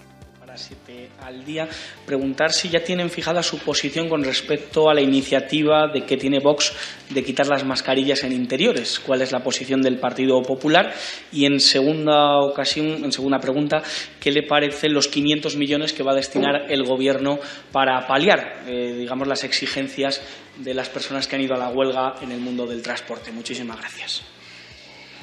Bueno, en relación a la primera, mm, para nosotros esa toma de decisiones siempre hemos venido diciendo lo mismo, y es que debe de ser la evidencia científica quien establezca cuándo se eh, adoptan medidas y también cuándo se retiran. Igual que le hemos pedido al Gobierno cuando ha adoptado alguna medida o cuando la ha retirado los informes que avalaban la misma, evidentemente, cuando la plantea cualquier gru- grupo parlamentario, nos movemos por el mismo criterio. Y debe de ser un criterio científico y la evidencia quien establezca que eh, eh, se retire la mascarilla en interiores. En cuanto que haya evidencia de que eso puede producirse, el Partido Popular, como no puede ser de otra manera, lo impulsará y lo apoyará. Y en relación a la segunda de las cuestiones, nos hacemos la misma pregunta que se hace todos aquellos que del sector del transporte están hoy eh, en la calle o están parados. Que están parados porque les cuesta más trabajar que no hacerlo. Y es que se desconoce cómo se materializan y con qué medidas esos, ese importe y con qué plazos. Y estos son las claves, ¿no? Está claro que cuando ayer muchos de los que estaban negociando en esa mesa con el Gobierno, al terminar la jornada, deciden que se suman al paro, es porque desconocen absolutamente en qué se materializa esas eh, medidas y, además, en qué plazos. Y los plazos tienen que ser ya y las medidas tienen que concretarse ya. Tenían que haber estado para antes de ayer, como se suele decir. Bueno, pues esa es la respuesta por parte del Partido Popular. Hay incógnitas sobre esos 500 millones y creo que también hay otra incógnita sobre la cuantía, que tampoco parece que sea demasiado, como hemos escuchado en el testimonio de algunos de los transportistas que hemos podido entrevistar. Bueno, saludamos ya a nuestra mesa de análisis. Rubén Tamboleo, ¿qué tal? Buenos días. ¿Qué tal? Muy buenos días. Raquel Tejero, ¿qué hay? Buenos días. ¿Qué tal? Antonio Muro, ¿qué hay? Buenos días. Muy buenos días. Bueno, eh, ¿cómo creéis que se va a solucionar? Porque el Gobierno no, te- no- no toma de medidas ya. No hay una ¿Por qué solución tiene que fácil. esperar hasta el 21 de marzo? Pues porque no hay una solución fácil y porque además dependemos Sí, enormemente de la Unión Europea. No, no, no. Austria, Irlanda, todo el mundo ha tomado medidas. Somos el único país que no, no ha hecho absolutamente nada. Pero ¿Por es qué? que somos el más perjudicado. Ya por eso. Pues ese es el problema, que somos el más perjudicado y el que más difícil tiene la situación, el que más tiene un yugo europeo para tomar determinadas medidas. ¿Por qué tiene un yugo? Eh, eh, porque pues lo que estamos viendo en el campo, por ejemplo, lo que está diciendo la gente, es que no nos han dejado cultivar en los últimos 30 años. Pero eso es la política agraria comunitaria sí que está comunitarizada, pero la política, eh, pero, pero todos los países han tomado decisiones sobre, la, sobre el impuesto de hidrocarburos y nosotros no. Pues porque, porque hay eh, en España tenemos una extraña situación de un monopolio en el servicio que, que hace que teniendo menos impuestos en los hidrocarburos, precisamente tengamos un, eh, unos hidrocarburos caros, o sea que no es solamente un tema de impuestos. Y, eh, y en el tema energético que además que no nos terminan de liberar del gas. Entonces ahí hay cosas que es muy difícil. Pero en en lo que se puede, en lo que se puede, estoy de acuerdo contigo, Rubén, en que la solución es muy complicada y aquí pues todos podemos eh, comentar lo que podría ser mejor y lo que es peor, pero desde luego a mí no me gustaría estar ahora mismo en la posición del gobierno porque eh, se van a tener que tomar unas medidas en algún momento, esperemos que pronto, y no van a ser fáciles de tomar. Pero lo que sí que es cierto es que con la rebaja de los impuestos que se podría aplicar, bueno, pues podría haber una mejora o al menos una, un paso hacia adelante para, para aquellas personas que hay que recordar que eh, los transportistas también están perdiendo dinero, o sea, están en huelga, pero no, no están cobrando, no están ingresando. Por lo tanto, esto también les perjudica a ellos. Si a ellos les compensa más estar en un paro que estar trabajando y desarrollando su labor, es porque la situación verdaderamente es, es muy complicada. Por lo tanto, yo creo que el gobierno tiene que tomar una medida pronto y tiene, tiene que hacerlo ya. Lo que pasa Y- es que a la vez tiene que mantener eh, esa- ese gasto público tan, tan Sí, elevado sí. que es muy complicado. Nueve días de, paro, que es un coste brutal, pero es que para mantener el, Claro. el gasto público, los ingresos, lo que tiene que hacer es ingresar. Cuando los, los sectores están parados, pues Sí, ingresará pero cero. Luis, lo que hablábamos ayer, es decir, yo creo que es un problema de caja. El- evidentemente las subvenciones serían una solución, pero todo el mundo sabe que las subvenciones son a medio, largo plazo, que por un lado te dan, pero por otro lado te lo van a seguir quitando No, con, no, los- no, pero la con rebaja los impuestos. de hidrocarburos es a corto Claro, plazo. por eso te digo, es decir, que la solución no sería una subvención, sería una rebaja a corto plazo. Pero la rebaja a corto plazo pierde muchísimo dinero el gobierno. Es verdad que lo está perdiendo ahora, pero ahora lo pierde con una minoría y si rebaja todos los impuestos, evidentemente la cantidad va a ser muy sustancial la que va a perder. Entonces está en ese difícil equilibrio con unas cuentas absolutamente mm, eh, fuera de control, tanto en la deuda como en el déficit, y sin posibilidad de saber que lo único que tiene que hacer, como ha dicho Raquel, es meter mano al gasto público. Y es lo único que no quiere hacer. Es que, la- es, que, es que esa disyuntiva entre gobierno y sociedad es, ma- es perversa, porque la única manera de que le vaya bien al gobierno es de que le vaya bien a la sociedad. Pues Y pretender salvar al gobierno a costo de la sociedad es matar la gallina de los Pero es huevos que esto-. Bueno, eh, desde, desde Vox se está planteando eh, medidas más, más, más ambiciosas. Por ejemplo, eh, eliminar las subvenciones a los partidos políticos, que sería enormemente pedagógico. Iván Espinosa de los Monteros está compareciendo en el Congreso de los Diputados. 2022 leímos el gobierno gasta durante la crisis un 24% más en asesores nombrados a dedo. Y miren, es que no se puede seguir insultando al pueblo español de esa manera. Habrán leído que en la Asamblea de Madrid hemos llegado a un acuerdo con el Partido Popular para reducir también el número de diputados del Parlamento Autonómico, porque en un momento en el que los españoles están sufriendo tanto, los políticos tienen que dar ejemplo. Las instituciones públicas tienen que dar ejemplo. Y la reducción de gasto político innecesario y redundante es de las primeras cosas que debería cometer un país como este. Y como ustedes saben, hay mucha gente que lo está pasando muy mal. Hay mucha gente que está teniendo que elegir entre encender la calefacción o pagar eh, sus alimentos. Ayer una compañera nuestra nos decía que su hermano ha pagado la calefacción en su casa porque no se puede permitir simultáneamente eh, pagar los gastos que tienen sus hijos y pagar la calefacción. Los españoles lo están pasando muy mal. Y los políticos que no lo entiendan, yo creo que van a acabar sufriendo las consecuencias en el voto de su falta de sensibilidad. O empezamos a reducir el gasto político necesario, o empezamos a simplificar la estructura administrativa del Estado en todos sus órdenes, o empezamos a ser un poco más cuidadosos con la manera en la que administramos el dinero de los españoles, o los españoles van a acabar muy enfadados con los políticos. Y por último, y muy brevemente, como siempre, estamos en una sala de prensa, así que vamos a dar algunas noticias. La primera es una noticia que viene muy atrás, concretamente de la noche del 31 de octubre, la noche de Halloween. Como saben ustedes, una niña, una niña de 16 años fue violada brutalmente y golpeada violentamente en Igualada. Cuatro meses después sigue en el hospital. Sigue en el hospital. Los médicos dicen que es muy difícil que se pueda recuperar del todo. En Murcia, un muerto en una pelea a puñaladas entre marroquíes en la Unión. También en Murcia, detenido un hombre de origen argelino por varios robos con violencia. Asaltaba a sus víctimas con un cuchillo de 21 centímetros. Zaragoza, un joven de 25 años recibe un machetazo en la cabeza tras ser atracado en el casco viejo. La víctima se encontraba en la calle con un grupo de jóvenes de entre 20 y 24 años, miembros de bandas juveniles. Bueno, pues están escuchando al portavoz de Vox en el Congreso de los Diputados, lamentando la situación de inseguridad que vive el país, pero también poniendo eh, encima de la mesa que los políticos que no sean sensibles a la situación crítica, a la agonía, a la asfixia económica que están viviendo muchos sectores económicos, tendrán su peaje en términos de votos.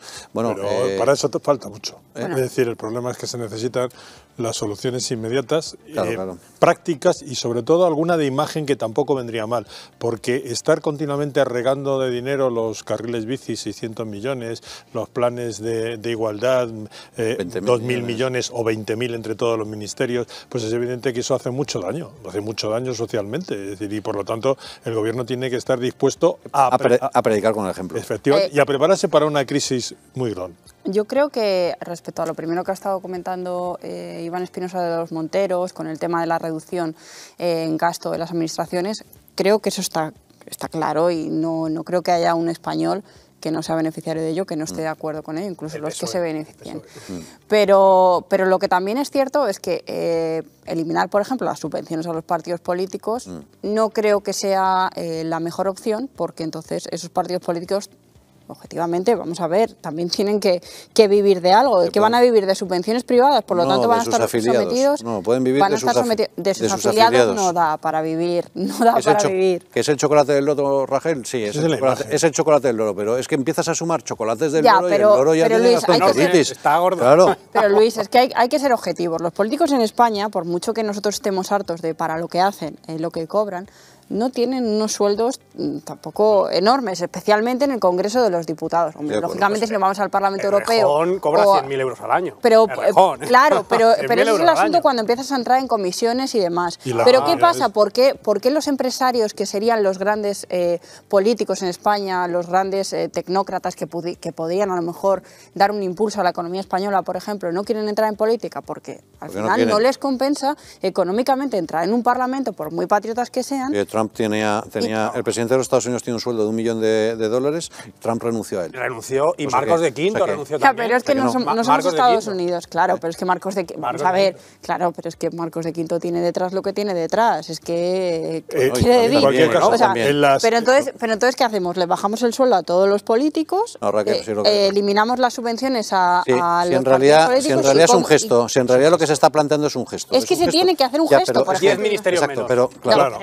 Pero si es que 10 en eso- ministerios menos. Pero si en eso, Ya. estamos, en eso Y se han de acuerdo. incrementado los, los asesores, oiga, pero usted no sabe sumar, porque Pero- Re- reconvertir los ministerios de hoy en direcciones generales, Pero punto, si eso eliminar los claro, asesores. si eso. Recordemos, Raquel, que el, el- el hoy ministro, antes de, eh, presidente de la IREF, ya señaló en su día que había 14.000 millones en subvenciones sin justificar, que no se sabía exactamente muy bien ante quién respondían ni de qué Pero respondían. si es que eso está claro, que tenemos que es el gasto demasiados público. asesores, demasiados Claro. ministerios, eh, demasiados cargos de cargos de cargos. Eso está clarísimo. Hay que reducir Pues la Es decir, hay que eh, empezar eh, por ahí. De la administración. Eso está claro.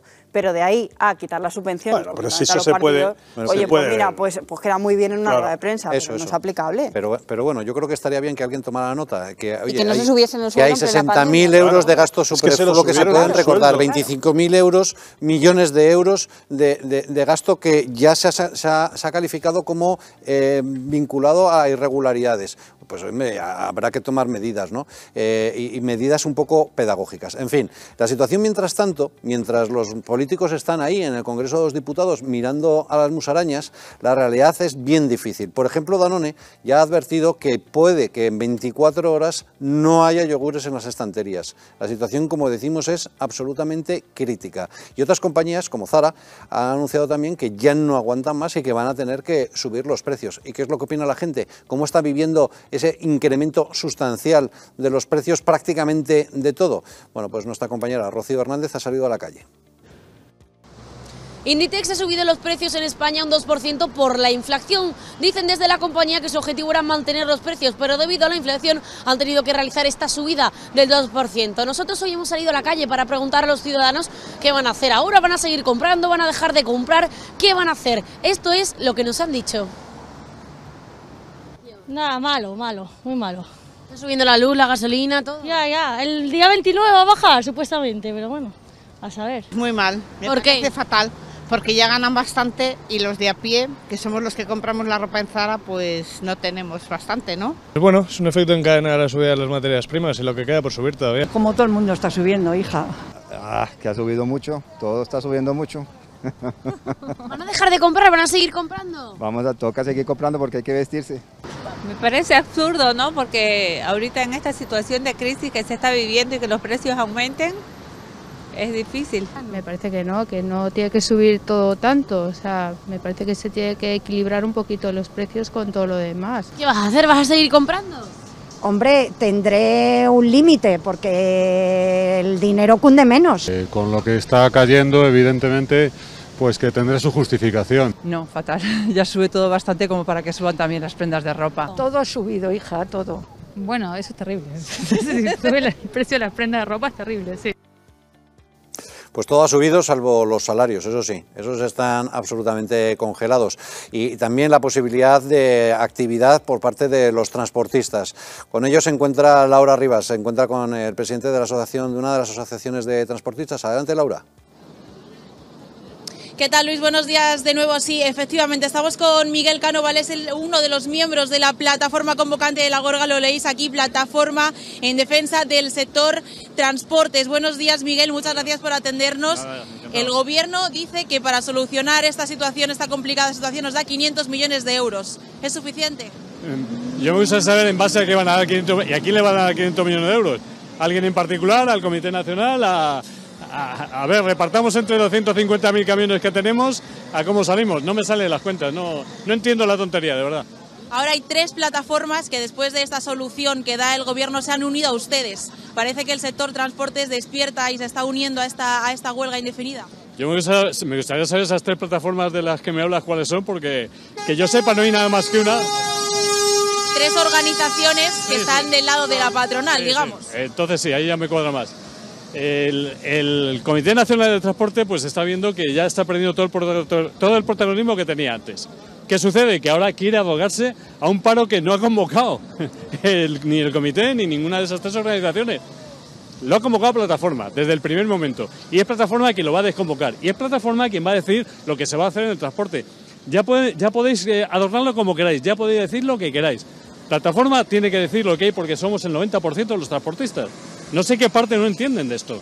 Sigue el gobierno sin reunirse con ustedes. ¿Por qué? ¿Qué, qué, pas- qué está pasando en el Nada. gobierno? Dicen que son ultraderecha, que son radicales. Sí, sí, bueno, pues es que eh, como insultan a la inteligencia de todos los españoles y a, y- y- y a gente que parecen que son tan simples como ellos, quien se crea esto, pues, pues los que se crearán las balas que mandaban a, a Iglesias, eh, la navaja a esa señora.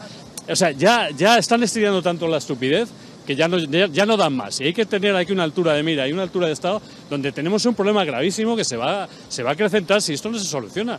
Aquí están hablando con trabajadores, están trabajando como con profesionales que han, di- han dicho basta ya una situación que llevamos denunciando mucho tiempo.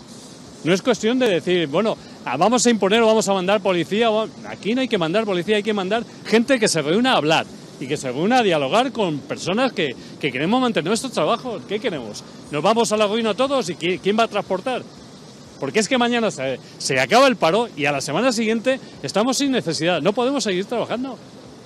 Pues Miguel, muchísimas gracias por habernos atendido. Una lucha que estáis luchando en la calle ya desde hace nueve días. Ánimo con esta lucha y nosotros estaremos, Para la menor duda. nosotros estaremos muy pendientes. Desde 7NN, Luis, como ves, el tiempo meteorológico no acompaña demasiado. Ya están abandonando los camiones este polígono industrial de Getafe. Una situación muy complicada. Ahora mismo me decían que aquí había más de 1.400 camiones, no no 800 como yo os comentaba antes que se esperaban, más de 1.400 y hoy 50.000 camiones más que se han unido a esta marcha. Así que estamos muy pendientes. Ahora si tengo algún testimonio más, Luis, os seguiré pidiendo paso. Estupendo, gracias Laura. Bueno, eh, no, sé qué opináis de por qué el gobierno se reúne con el interlocutor equivocado. Pues porque es muy, es muy importante denunciar las dos medidas que sí que ha tomado el gobierno. ¿Qué dos medidas ha tomado el gobierno? Casi militarizar la protesta con un despliegue enorme de policía y de guardia civil, que además con lo que está denunciando Iván Espinosa los Monteros, hay gente desprotegida porque están eh, forzados a que no se reúnan más de 20 personas, que es la instrucción del Ministerio del Interior, y la otra medida es insultar. Es que, por ejemplo, el jefe de gabinete de la señora ministra de Transportes está diciendo que esto que no es una huelga, que es un paro patronal, que son gente que está en el boicot y, que, y que están Mm. Es- impidiendo servicios esenciales. Y que Eso son- es insultar. Y que son insolidarios. Y Yo que son insolidarios. Sí, yo no termino de entender, Raquel, lo de las multas porque... eh, eh, ¿eso, eso de qué va? ¿No se pueden reunir más de 20? ¿Por qué no? Pues más de 20 es una manifestación, sí. ¿Y qué? ¿No existe Pues derecho no de se- manifestación no en la se pueden Constitución o reunir más de 20 porque no protestan eh, contra eh, la mordaza a un rapero que, por ejemplo, decía que había que matar guardias civiles. Si se manifestasen por eso, pues se podrían reunir 20, no 20.000 y no habría ningún problema como ha pasado Claro. en las calles de Madrid y, en, y en- en todo el resto del territorio de España. Por lo tanto, pues está claro que las manifestaciones, cuando no son de lo que ellos quieren y no van acorde a lo que ellos quieren defender de cara a unas próximas elecciones, pues no, no se las permiten. Cuando una plataforma hace una petición, de, hace un registro de una petición para una manifestación, que es un, que es un derecho eh, que, que tenemos los ciudadanos, no solamente españoles, sino Y que, a y, que, y que hay que matizar, que no se pide, se comunica. se comunica. No se pide comunica. permiso, se Y para- comunica. Para, que, el- para que el, eh, la delegación de gobierno te diga que no, tiene que tener una argumentación Hay que argumentar, muy claro. amplia y muy motivado. complicada de argumentar. Incluso Claro. si hay una manifestación, imaginaos que pueda causar Contraria. un problema eh, de, de dos bandos contrarios por lo que sea, Mm. hasta eso es complicado de desconvocar. Como mucho te pueden cambiar el sitio o la Claro, porque ubicación o te pueden desplazar Hay un derecho metros. fundamental que es el derecho de manifestación. Pero, pero eh, ir en contra del derecho fundamental de manifestación Mm. tiene que ir muy bien argumentado y desde luego pues es que está claro que es imposible porque encima lo peor de todo es que eh, estos transportistas está- que están claramente apoyados por los ciudadanos españoles. No solamente es un sector como Mm. pasa muchas veces que hay una manifestación de un sector y que a todos nos entra por un oído y nos, ent- nos sale por otro. No, es que a todos nos afecta, a todos eh, no- nos, nos implica y nos va a implicar muchos problemas. Antes entrevistábamos a un transportista que decía que estaba muy emocionado, que le saltaban las lágrimas como a un Claro. niño porque había recibido la solidaridad de la gente, ¿no? que le pitaba, que le decían ánimo, etcétera. ¿no? Es decir, ese es el, esa es la cuestión del el paso que han dado las organizaciones uniéndose ahora a la plataforma del transporte.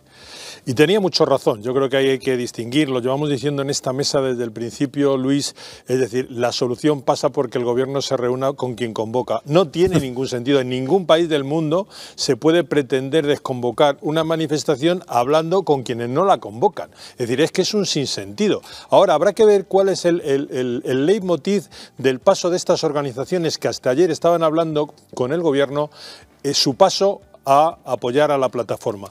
Puede ser porque evidentemente ven que están perdiendo la calle y el apoyo, esa es una razón, o habrá que ver si uno es mal pensado en los próximos días, si esas nueva- esas organizaciones que ahora han dado el paso no se convierten en una especie de puente benéfico con el gobierno. Es decir, habrá que estar muy atento. Lo que está claro, como dice Rubén, es que la sociedad está apoyando a los camioneros, como hemos visto en las declaraciones, en ese cara a cara que tú has puesto de Más País con Rufián.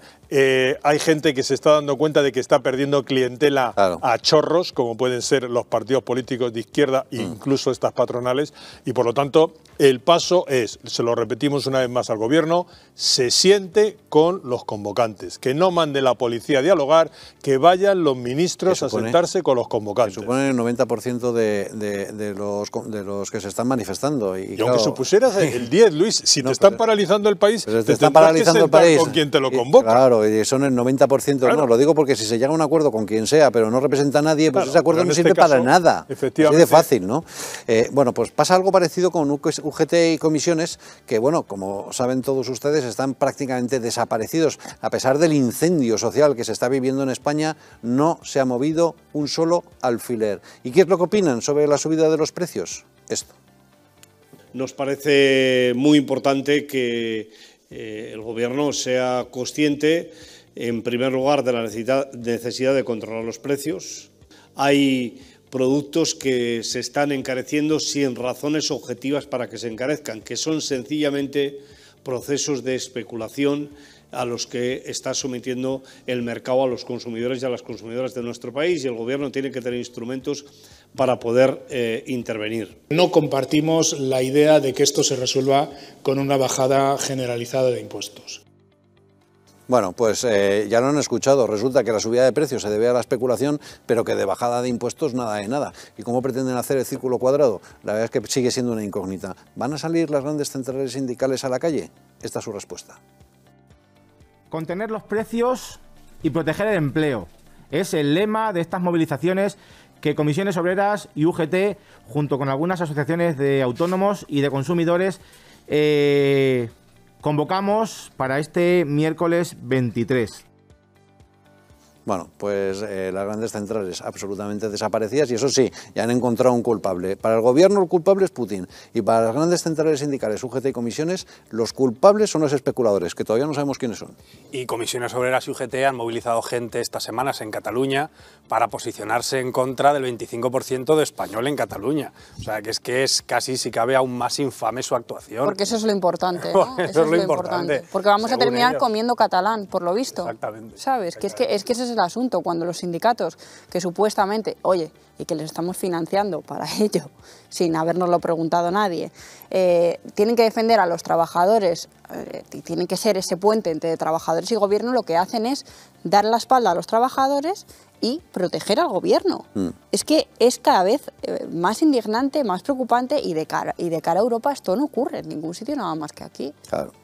No se puede acusar a los especuladores sin decir quiénes son o salir a protestar contra, contra ello. Es decir, eh, los sindicatos se han visto arrastrados por la manifestación de Vox, por la manifestación del campo, a convocar la manifestación de mañana miércoles. Habrá que ver, desde luego, con la cantidad de liberados que tienen, seguro que pueden llenar algunas calles.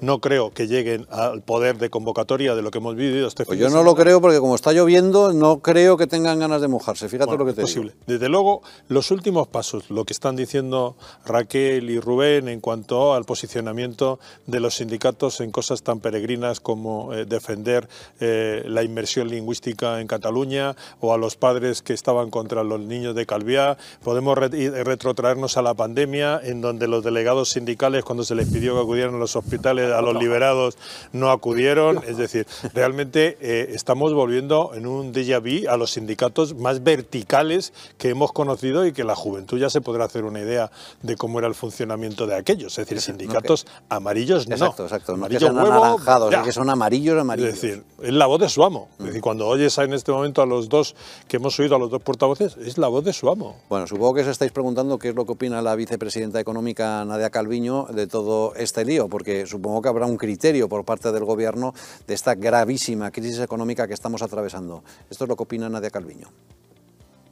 En este marco se incluye la negociación bipartita en curso entre los representantes empresariales y los representantes de los trabajadores para un acuerdo de negociación colectiva. En definitiva, estamos unidos en lo fundamental, que es dar una respuesta eficaz para impulsar la recuperación económica y la creación de empleo que ya están en marcha. Bueno, pues eh, sigue confiando en ese acuerdo entre patronal y sindicatos, pero que en realidad viene siendo un acuerdo entre unas instituciones que cada día representan a menos gente, que son unas instituciones que parece que están muy bien, que supuestamente son representativas, pero que son carcasas, vacías. y que, y que efectivamente no viven, por ejemplo, de lo, de lo que pagan los afiliados, ni Sí, de sí. que... Ni, están, a- ni están a pie de calle. ni están a pie de calle y luego hay elecciones internas y casi no vota nadie ni está nadie ni está nadie en eso cuando hay para, para los diferentes órganos de representación empresarial. Entonces a- hay que plantearse su verdadera utilidad y que la gente no se deje engañar especialmente, porque están, están engañando, están engañando y además hay unos mensajes terribles de que como que hay que apechugar, ¿no? que es el consumidor el que ahora tiene que sufrir. Incluso exministros que están diciendo que, Claro. el- que los camioneros se habían beneficiado durante la pandemia. ¿Cómo puede ser que se hubieran beneficiado durante la pandemia? Porque podían trabajar, y eso lo ha dicho un exministro, exministro de Industria, y lo están diciendo en medios importantes también. Entonces, que se habían beneficiado porque durante la pandemia ellos sí que podían trabajar. Y que ahora, pues que si tienen pérdidas, que, que las incluyan en su presupuesto y que no pasa nada. ¿no? Pues hay toda una hostilidad muy fuerte de un entramado que son sindicatos y, eh, y otros agentes y otros agentes hacia, hacia esto y que no se sabe hacia dónde, hacia dónde quiere llegar, pero la propia Nadia Calviño ha reconocido estos días que Rusia, eh, a uno de los países que menos afecta es a España. Claro. esa España. Entonces, eh, hace falta... Eso lo dice Nadia, pero el presidente, sin embargo, dice que no, que la culpa de todo es de Putin. Así, Es de que Putin. así, así estamos. Putin. Hemos encontrado al chivo expiatorio fenomenal. Ese es el Putin. malo malísimo de Putin, que es el culpable de todos los males. Pero claro, como ven, no cuela. La gente ya ha salido a la calle porque ya no puede más, porque ya no aguanta más, porque cada vez que va a una gasolinera tiembla. Le tiemblan las piernas porque tiene que dar de comer a su familia y le van a meter un viaje que le van a doblar. Bueno, eh, nuestro compañero Josué Cárdenas ha estado en la rueda de prensa de Iván Espinosa de los Monteros, le ha preguntado por esa eh, supuesta solución de los 500 millones de euros a los eh, transportistas y esta es la respuesta del portavoz de Vox. preguntar si le parece suficiente esa respuesta del Gobierno con 500 millones de euros para los manifestantes y las personas que han ido a la huelga en el mundo del transporte, a los que en esta semana pues, no han parado de llamar ultraderechistas. Muchas gracias. Muchas gracias. Bueno, como se supone que la ultraderecha somos nosotros y luego el Gobierno ha dicho que todos esos miles de autónomos, eh, transportistas, profesionales del sector son todos ultraderecha, pues les damos la bienvenida a todos esos miles que según el Gobierno pues, eh, pues son de Vox, entiendo, por, eh, relacionar una cosa con la otra. ¿no? También eh, le brindo un ejercicio de matemáticas para Progres. Si dice el Gobierno que estos son solo el 10% de los transportistas y que no representan a nadie, y que las centrales sindicales representan el 90% de los transportistas, ¿cómo es posible que el 10% de los transportistas estén generando semejante impacto? Yo creo que debe haber alguna desproporción entre lo que dice el Gobierno y lo que pasa en la realidad. Y le aseguro que la actitud de la ministra, insultando o pretendiendo insultar a los transportistas, no mejora la situación. Antes, al contrario, yo creo que la empeora. Y yo creo que la situación en la que está la ministra de Transportes es cada día más endeble, porque las legítimas aspiraciones y reivindicaciones de los transportistas no se pueden encontrar con un portazo, no se pueden encontrar con insultos, o lo que ella cree que son insultos. No se puede encontrar con un rechazo frontal simplemente porque no pertenecen a los sindicatos que le gusta a este Gobierno. La realidad en la calle es muy palpable. La realidad es que los transportistas no pueden poner dinero para trabajar. Todo el mundo trabaja para ganar dinero, no tienen que poner dinero en su oficio diario. Por tanto, comprendemos perfectamente la desesperación de muchos profesionales del sector del transporte, especialmente de esos autónomos que tienen enormes dificultades, no digo ya ni para ganar, sino para empatar en el ejercicio de su función y apoyamos sus justas reivindicaciones. Por cierto, cuando el Gobierno diga que ha habido situaciones, como las ha habido, de piquetes violentos que han impedido el legítimo derecho al trabajo de aquellos que lo hayan querido ejercer, hay que recordar que han sido ellos los que han aprobado una ley precisamente permitiendo la actuación de estos piquetes. Y por eso las fuerzas y cuerpos de seguridad del Estado no pueden actuar para impedirlo, porque este Gobierno ha pasado una ley para permitir que esto suceda. Por tanto, el Gobierno está en una situación, a mi gusto, crítica. El daño que están infligiendo los españoles es cada vez menor, es cada vez mayor, perdón, Bueno, pues eh, el recuerdo muy oportuno. Ha sido el Gobierno quien ha despenalizado los piquetes informativos, ahora está recibiendo su propia medicina. Y bueno, eh, la evidencia de que los problemas no se solucionan ni con parches, ni con eh, insultos, ni con negociaciones con eh, personas que no representan absolutamente a nadie. Abrimos y...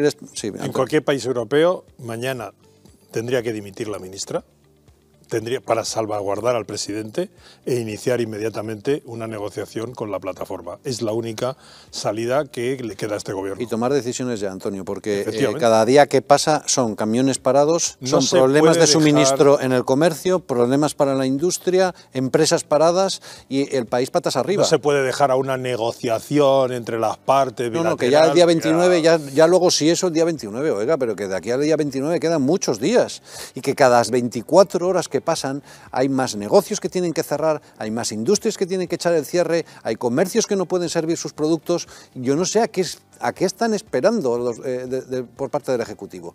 Antonio, te quería preguntar sobre asuntos de COVID. Eh, hemos visto imágenes de Rafa Nadal eh, realmente preocupantes y también algunos informes que dicen que las mujeres que se han vacunado tienen problemas menstruales. Vamos por partes.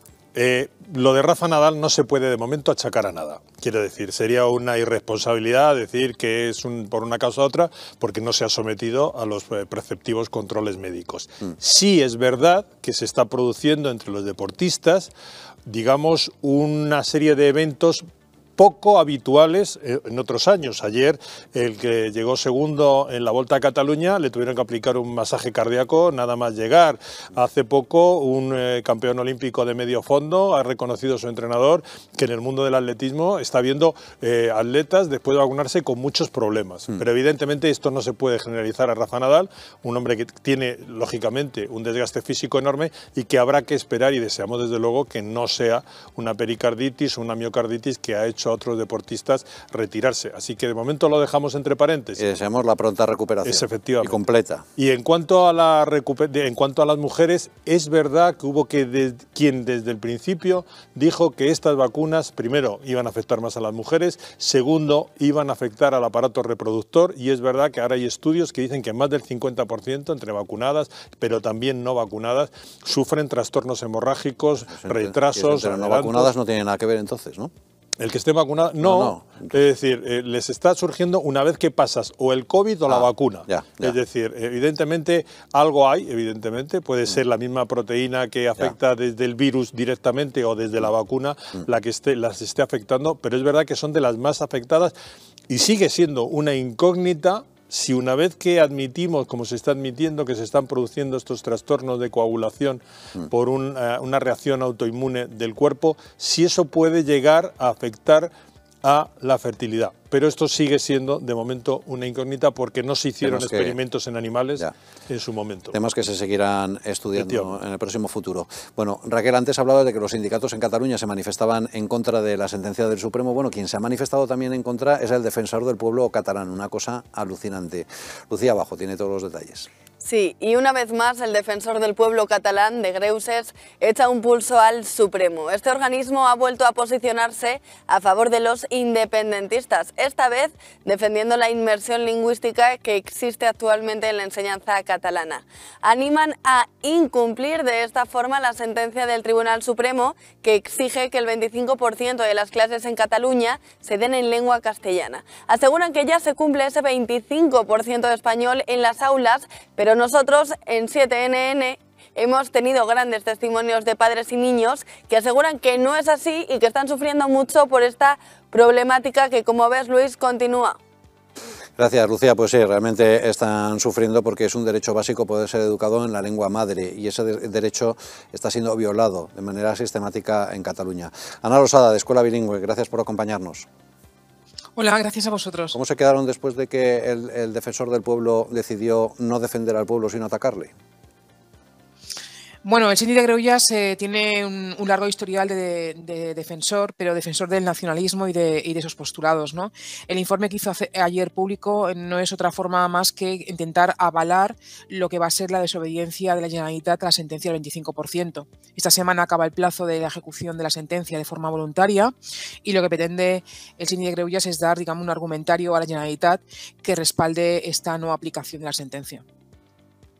Tienen la evidencia de que eh, ese 25% no se está cumpliendo de lejos. No, en ningún sitio, no se cumple, es totalmente falso. Eh, no hay ningún centro público en Cataluña que ofrezca asignaturas troncales en castellano, salvo en aquellos grupos clase donde los padres han llegado a los tribunales. Dar eh, horas en castellano, según dice la sentencia y según dice la Constitución, significa que se eligen materias troncales y con el material didáctico en castellano y con la clase impartida por el profesor en castellano. Esto no ocurre en los centros públicos y lo puede decir una encuesta del SINDIC y lo puede decir quien quiera, pero esto no es real porque si no la Generalitat eh, los mismos datos que Generalitat en- entregó al tribunal para intentar defender la no aplicación de la sentencia fueron considerados eh, por el tribunal como pruebas de que en Cataluña la presencia del castellano en las escuelas es residual. Es, eh, es un intento de, de buscar argumentario, de buscar amparar y avalar la desobediencia, pero no es la realidad de Cataluña. La realidad de Cataluña es que el castellano está excluido de la, de la, de la escuela. Desde el punto de vista jurídico, ¿ustedes qué van a hacer? Porque acaba ese plazo de aplicación voluntaria, eh, ahora habrá que ejecutar la sentencia. ¿Cómo se va a hacer? Bueno, este, este viernes acaba el plazo, digamos, voluntario. A partir del lunes que viene todos los centros deberían de tener eh, asignaturas en castellano. Eh, entonces nosotros, ante la evidente desobediencia, vamos a presentar una demanda al Tribunal Superior de Justicia de Cataluña, donde le vamos a informar de que esta desobediencia es evidente y le vamos a pedir que pide que, que dicte instrucciones directas a cada uno de los centros para que los directores reciban una comunicación directa del tribunal que exija la aplicación de la sentencia en cada uno de los centros, saltándonos al conseller, que es el que está intentando bloquear eh, la aplicación de la sentencia, porque él ha asumido la responsabilidad de la aplicación, pero no ha dictado instrucciones a los centros para que puedan cumplirla. Por tanto, lo que queremos es saltarnos al conseller y que las instrucciones lleguen directamente a los centros. Que los directores de los centros asuman la responsabilidad en caso de incumplimiento, porque cuando la responsabilidad sea personal, a lo mejor empiezan a actuar. Sí, es así porque además en, las medidas cautelares que nosotros tenemos de, los, de, las familias que llegan de forma individual a, los tribunales, el director recibe las medidas cautelares y las, las aplica eh, conforme a la petición del tribunal. No hay nunca eh, problemas. ¿Por qué? Porque es una, una medida cautelar que llega con nombre y apellidos del director. Por tanto, es él el que asume cualquier tipo de desobediencia, mm, que puede ir desde una multa hasta una inhabilitación porque es un funcionario público y se debe a la aplicación de, de las sentencias, de la legislación y de la normativa vigente. Bueno, pues vamos a esperar que finalmente se pueda cumplir la ley. La verdad es que es increíble que haya que recurrir a, este tipo de cosas, a la justicia, para que se aplique la ley y que incluso algunas instituciones como el Defensor del Pueblo Catalán estén en plena y abierta rebeldía. Eso realmente resulta indignante. Sí, así es. Ana Rosada, de Escuela Bilingüe, gracias. Un abrazo. Gracias a vosotros, como siempre. Hasta luego. Bueno, pues eso es lo que ocurre en las escuelas de Cataluña, pero atención, porque en las escuelas de toda España podemos plantear que la educación afectivo-sexual llegue hasta las guarderías como lo están escuchando, hasta las guarderías, hasta los niños que están en kinder, en preescolar, pretenden que también tengan educación afectivo-sexual. Eso es obsesión en sentido estricto. ¿Y qué es lo que opinan ustedes? ¿Qué es lo que opinan los padres de familia que llevan a su hijo a una guardería? Rocío Hernández preguntarles. Podemos se cuela de nuevo en las aulas. Quiere que se enseñe en las guarderías a los niños de tres años educación afectivo-sexual. Podemos, acompañado del Partido Socialista, que han presentado en la Comisión de Educación una proposición no de ley, dicen, para revertir la tendencia de los roles de género en las guarderías a niños de tres años. Nosotros hoy hemos salido a la calle para preguntarle a los ciudadanos qué piensan, por qué hay que enseñarle estas cosas a los niños de tres años. ¿Les parece bien? ¿Les parece mal? Esto es lo que nos han dicho. A mí no, no me parece nada bien, pero bueno parece una tontería. Para mí no es la prioridad y creo que hay otras cosas más interesantes. Porque no, no es una edad de tres años para empezar de una cosa de tal envergadura, tal complicado, y lo que no les importa, no les importa, que les enseñen francés o inglés o alemán. Bueno, vamos, no, yo, yo pienso que no. A lo mejor es que yo creo que todavía ni siquiera saben diferenciar muy bien eh, el sexo. Qué espanto, por favor. No, un horror. ¿Por qué? Pero, pero un pobre niño de tres años, ¿cómo les van a dañar la mente desde ya? los tres años no sabes ni correr, casi. Entonces, ¿cómo vas a saber...? A mí no me lo explicaron y sabía dónde me picaba a mí y dónde le picaba al otro, o la otra, o el otro. bueno, en fin, hay que tomárselo con humor, pero realmente es preocupante porque se trata de un adoctrinamiento en sentido estricto, desde niños desde los tres años de edad, en educación afectivo-sexual, que no es más que adoctrinamiento de género. Bueno, eh, tenemos con nosotros a una psicóloga infantil, Alejandra Krieger. Gracias por acompañarnos. Hola, ¿qué tal? Bueno, Encantada de eh, estar con nosotros. Gracias. Eh, cuéntenos usted ¿Cree que es razonable empezar esa educación desde los tres años? Pues eh, la verdad es que eh, me da mucha rabia que todo esto se politice, con niños tan pequeños cuando no tienen ni la madurez ni la evolución mm, para integrar todos estos conceptos y luego es verdad, a un niño tan pequeño darle una cantidad de opciones lo único que le va a generar es confusión y un retraso en su evolución y un bloqueo. Entonces no estoy de acuerdo que, se implanten estos conceptos desde tan pequeños. Los niños eh, creo que tienen confusión de género y que enseguida se les pasa. Si desde muy tierna edad, desde los cinco años, por ejemplo, les empiezan a, hacer eh, juegos de rol, de ahora los niños van a jugar a ser niñas, etcétera, probablemente están acrecentando esas eh, confusiones de género. Totalmente, totalmente. Aparte que hasta los siete años los niños todavía no tienen una identidad clara sexual, Claro, por lo claro. tanto no le puedes, en esa etapa no les puedes confundir diciendo, oye, si quieres ser niño puedes ser niño, Mm. si quieres ser niña puedes ser niña, si no quieres ser nada pues no lo seas. No, porque todavía no saben bien lo que es un niño y lo que es una niña. No le puedes meter ni confundir esos conceptos hasta los siete años, ni hasta los 10 se supone, 10, 11. Alejandra, además eh, eh, el planteamiento de Podemos es que se haga sin el consenso y sin el consentimiento de los padres. Claro, todo eso es una brutalidad. Mm. Y que se haga política con esto, pues, en fin, ya veremos las consecuencias, pero a un niño le tienes que dejar ser, obviamente hay que educarle con respeto y que cuando ya tenga la madurez suficiente y pueda decidir qué quiere hacer con su orientación sexual o con su identidad, fenomenal, pero mm, estoy- o sea, habrá que hacerle un estudio psicológico de si realmente lo que él está sintiendo está, se corrobora con, la realidad, pero a un niño no le puedes educar con múltiples opciones cuando no están preparados para integrar esos conceptos. Entonces, eh, claro que hay que edu- educarles en el respeto, en, el apoyo, siempre y cuando esa decisión esté tomada eh, desde una salud mental. Entonces, sí, efectivamente, que no sea, que se haga sin el consentimiento de los padres, pues imagine- imaginaros las consecuencias. Sí, porque estamos hablando de, de atacar nada menos que la inocencia de los niños. Yo creo que hay pocas cosas mm, más, más criminales que esa.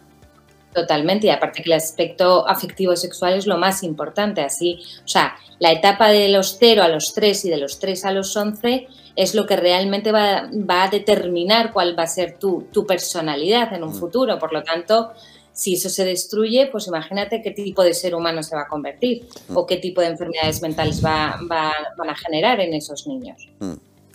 En fin, eh, realmente lamentable. Alejandra, muchísimas gracias por acompañarnos. Un saludo. Nada, gracias a vosotros. Hasta luego, chao. Ahora, bueno, pues esa es- forma parte de la obsesión de la izquierda más radical, ¿no? El alma de los niños, el Bueno, adoctrinamiento de, de- los, los más pequeños. Además es que es una obsesión completamente, como ha dicho la psicóloga, ridícula, porque los niños todavía no tienen capacidad de, de pensar absolutamente nada que tenga que ver con esto.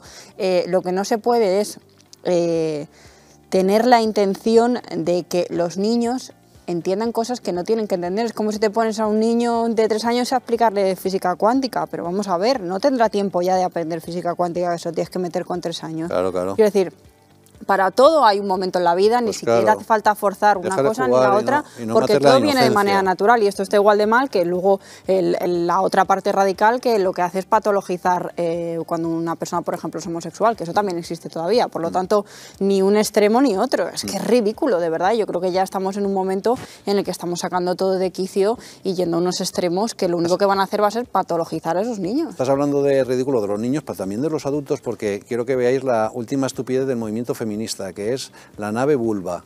Dicen que las naves eh, eh, espaciales tienen forma fálica y que eso hay que superarlo, y que por lo tanto lo que proponen es la, la nave vulva.